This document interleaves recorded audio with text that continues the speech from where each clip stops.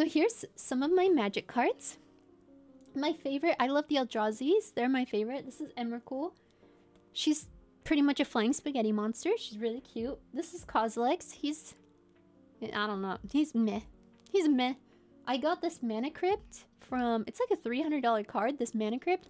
I bought one pack of Ravnica. I think it was Ravnica. No, no, no, no, not Ravnica. I got a random pack of something and I ended up getting it.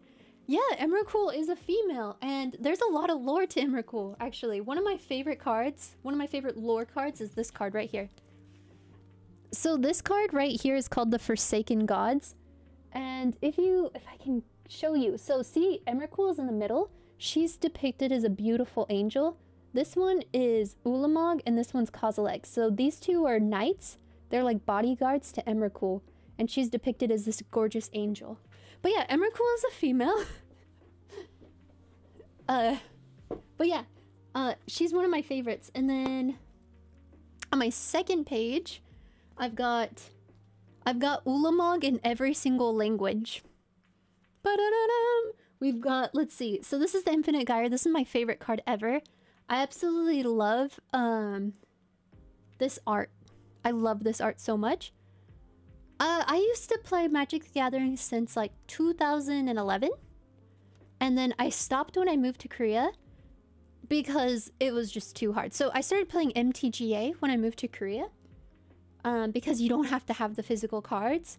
And I just, and there wasn't a big magic scene in Korea, so yeah, it's a lot different. When I was in the States, any, any, like, if I ever traveled in the USA, and it was a Friday, I would always go to Friday Night Magic in every place I've ever been to. So I've been to Friday Night Magic in Chicago, in LA, in San Francisco, in Oregon. I've been to Friday Night Magic in every place in the state that I visit, and it happens to be a Friday. This is like one of my favorite things to do. I like drafting. Drafting is my favorite. Um, and then I started collecting. Just uh, so I don't like collecting. Um, but I started collecting these because sometimes event uh occasionally I will open a pack. So like this one I got from a pack of cards and it just happened to be a really good card. Um but yeah. Modern is modern's pretty intense. I was exposed to MTG around 2010 but started playing around 2016 but only Commander. I didn't like Commander only because um the games would take too long. When me and my friends played Commander, it it would take like eight hours to finish a game. It would take way too long. So for me, I got burnt out of Commander really quick. I prefer to draft because Commander takes so long. I like casual too. I like standard. And then there's a version of Commander called Teeny Leaders. Teeny Leaders I really like. So instead of having 100 cards, you have 50. And then you have a Teeny Leader that's your commander and it's basically a smaller version of Commander, and I really like that because the games would go by super quick. Like, faster usually than just normal Magic games. I really like Teeny Leaders. I made a black and blue Teeny Leaders deck because I hate black and blue. Um, but yeah, I for, for me personally, I didn't like Commander just because every single time I've played Commander, the games have been like eight hours long. Like, they've been like the games go from like four to eight hours on average, and that's just too long for me. Um, but yeah, so we've got Ulamog in every uh, language. So this is in English. This one, oh, that one's also in English. This one's in French. I think this is Spanish. This is Japanese. This is Russian. I think this one's Italian. I could be way wrong, honestly. No, this one's French. So the one I thought was French before, maybe that's Italian? Yeah, I think that's Italian. Yeah. Italian, French, um, Korean. I got him in Korean. And then this one... I don't even know what language that's in. And then this one's Chinese. I'm like, I straight up have no idea. Um, so these are some of my other favorite lore cards. So these ones are called Tormenting Voice. So Oh man, I don't remember the set this this came from, but this one's Ugin. Ugin's this dragon, and both of them have been tormented by a dragon named Nicol So I love the art of this one because you see them like holding their heads and screaming, and you see Nicol whispering into Sarkhan's ear, and then you also see Nicol uh, whispering into Ugin's ear. Yeah. Sorry, I'm talking about my magic cards. This card I got because it looks like my dog. My dog's a Shiba. This is a Shiba. This card looks like my name. It's called um Atraxa. So it kind of looks like my name. But yeah. And then let's see. The next page I've got my what do you call them? I can't I can't remember what these lands are called anymore. I don't remember anymore, but these are my favorite lands. These are random cards that I got from opening up packs. So I've got a command tower, I've got Child of Alara, I've got my Nicol right there. I love Nicol And then, yeah, just random rare cards.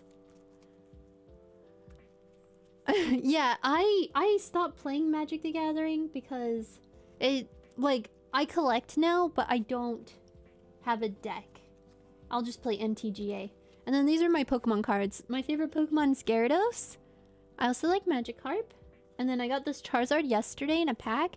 And then I also like Mudkip and Swampert and... I forgot the middle one. I like that Pokemon. I just... I like Mudkip the most. Mudkip's cute. But yeah, this these are my magic...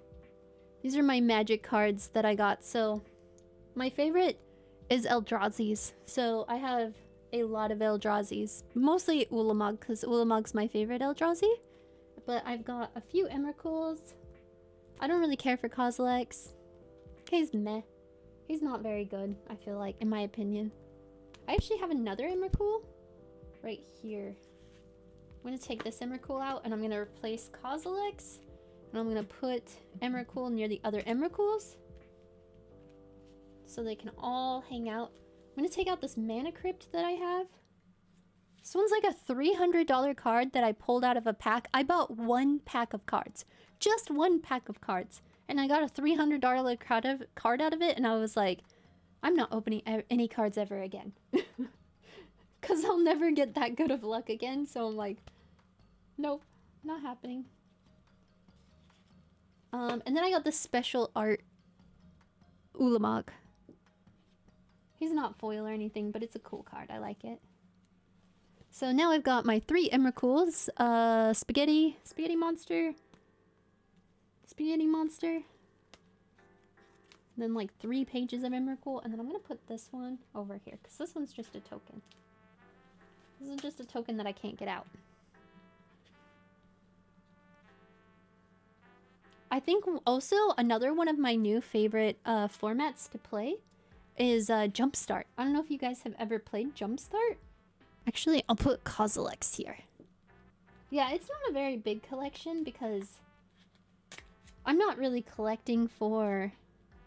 Like, it's mostly just collecting when I buy a pack of cards and get the card I want. Um, or when I go to like a convention, if there's if they're selling magic cards, so the reason why I have so many like Emrakuls and Eldrazi's is for example, if I go to like uh I went to the Comic-Con in what's it called? London? If I go to like a Comic-Con in London and they're selling magic cards, I'll be like, "Oh, how much for an Emrakul?" And if they're like 25 bucks, I'm like, "I'll buy it." I just I just buy Emrakuls and and Ulamogs.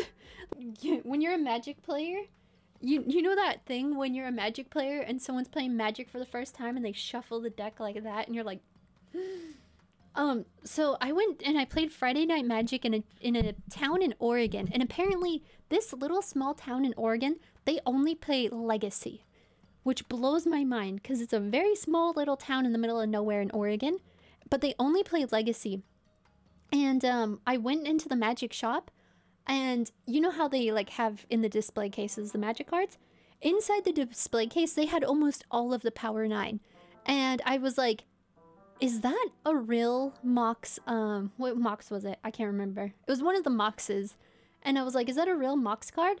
And the guy takes it out and he's like, yup. And just starts bending it because he did the bend test to prove that it's real. But just seeing, uh, I think it was Mox Diamond. Yeah.